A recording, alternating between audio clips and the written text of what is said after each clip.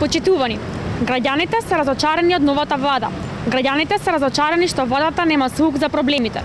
Ние, како граѓанско движење кој се бори против осиромашувањето, сме повторно на улици да ги повториме нашите три клучни барања кои ќе го подобрат животниот стандард на сите граѓани во Македонија или во најмала рака ќе го спречат неговиот пат.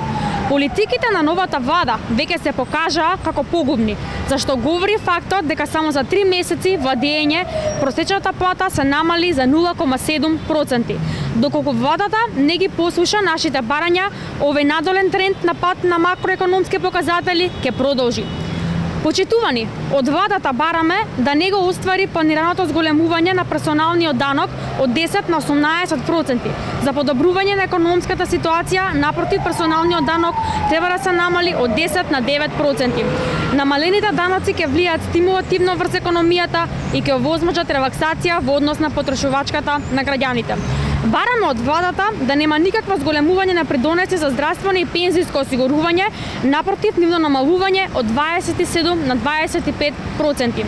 Владата исто така мора да се откаже од непродуктивни трошоци, како на пример зголемени средства за привремени вработувања, храна, репрезентации, и службени картички за сметка на зголемување на капитални инвестиции, изградба на патишта, училишта, градинки, здравствени установи, како и поддршка во стопанството.